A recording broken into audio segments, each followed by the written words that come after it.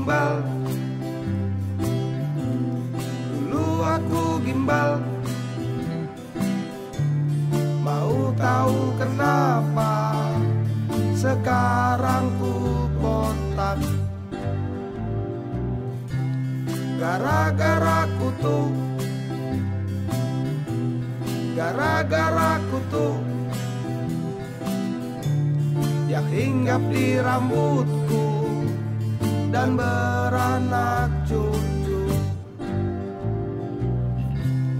Dulu aku gimbal. Dulu aku gimbal.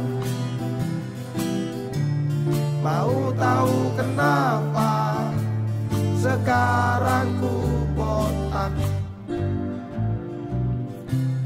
Gara-gara kamu